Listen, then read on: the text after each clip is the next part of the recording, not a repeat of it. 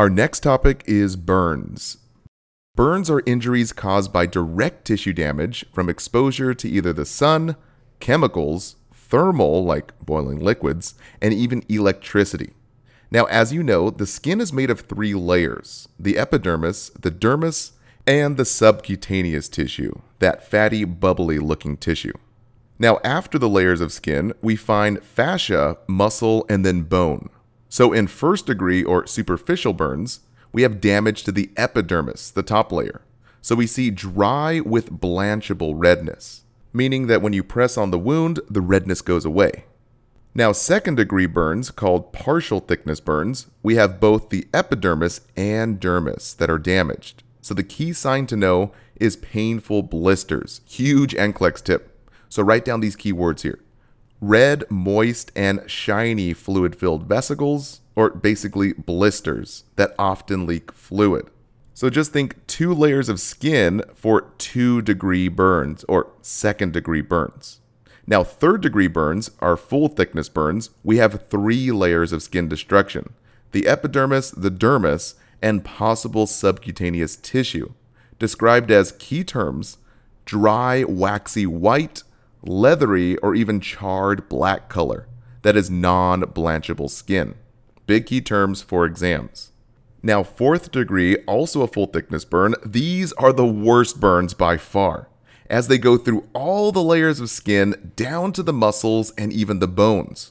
A unique sign is the lack of pain, since the destruction of nerve endings from all the burn charred areas.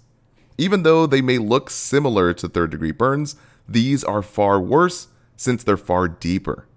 Now, for minor burns, like the first and second degree burns, these do not typically need hospitalization and can be treated outpatient with wound care and dressing changes. Whereas major burns like third degree and fourth degree, these are deadly medical emergencies, requiring intensive care, which we'll cover in a moment. So, first, care for minor burns. Say a client is cooking and then burns themselves, or say they spill a boiling pot of water on an extremity. So, we always teach the three C's for pre hospital care cool water, cover the area, and clothing removal.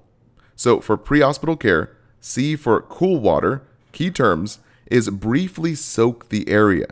And no ice, no creams, and definitely no antibiotic ointment to open skin. The key term there is open skin. So this can lead to additional damage, and the creams, lotions, and antibiotics may interfere with the assessment from the healthcare provider. Now, the second C is cover the area with key term clean, dry cloth. So write that down. This is done to prevent infection and more damage in the pre hospital setting.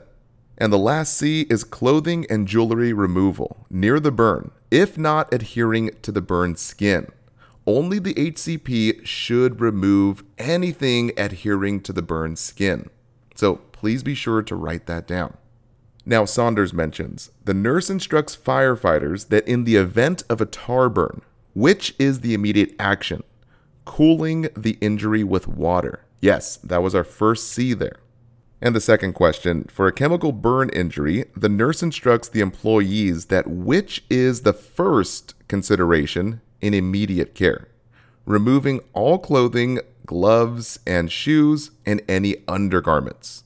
Just strip down like you're going skinny dipping. Now for Kaplan, that Thanks for watching. For our full video and new quiz bank, click right up here to access your free trial. And please consider subscribing to our YouTube channel. Last but not least, a big thanks to our team of experts helping us make these great videos. All right, guys, see you next time.